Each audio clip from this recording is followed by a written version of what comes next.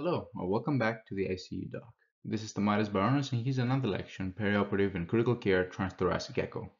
In today's presentation, we will talk about the fractional area change, which is a simple method to estimate ejection fraction. We'll talk about which view to use and how to make measurements. The fractional area change is measured at the parasternal short axis view with focus on the mid-papillary view of the left ventricle. And as you see here in this video clip, we're in the mid-papillary view since the papillaries are right here. I will also include a link in the description if you wish to refresh your memory on how to get the parasternal short axis view. One of the biggest limitations of the fractional area change when it comes to estimating ejection fraction is that it assesses contractility in only one plane at the mid-papillary level.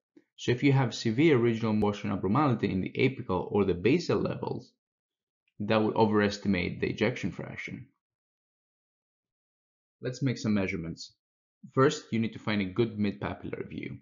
Then you go on your ultrasound, you select the measure button, and under the generic tab, you will find the area trace. When you're measuring the fractional area change, you want to exclude the papillary muscles. You also want to stay as close to the endocardium as possible. So what you're doing when you're measuring the fractional area change is that you measure the difference between the area at the end of diastole all the way to the end of systole. And I'm going to show you an equation in the next slide how to calculate it. So in this case, the examiner found the end of diastole, measured the area, and now they're measuring the end of systole.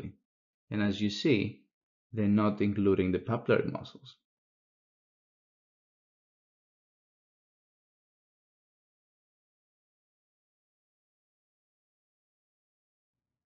Perfect. This is the equation that I was referring to earlier. It may seem overwhelming at first, but it's actually a fairly simple equation. It basically tells you the fractional area change is equal to the left ventricular end diastolic area. So that's the trace of the left ventricle at the mid-papillary level at the end of diastole minus the left ventricular end systolic area which is again the trace at the end of systole, over the left ventricular end diastolic area, which is what you started with, times 100. And the result is going to be as a percentage. Let's use the image that we measured to calculate the fractional area change. So earlier we found the end diastolic area to be 17.7 and the end systolic area to be 9.2. So using the equation that we just spoke about, we can calculate the fractional area change. So we have the left ventricular end diastolic area, 17.7, minus the left ventricular end systolic area, which is 9.2, divided by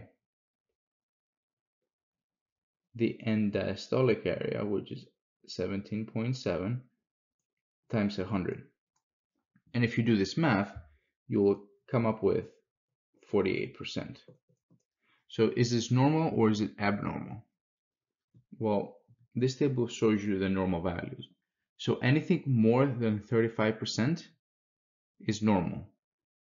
If you have less than 35%, then you have a reduced ejection fraction. And this concludes the lecture on the fractional area change to estimate ejection fraction. Thank you all for watching. Make sure you check out our website, YouTube channel, and follow us on Twitter to stay updated when new videos come out. If you like the lectures, don't forget to hit the like button, subscribe, and share.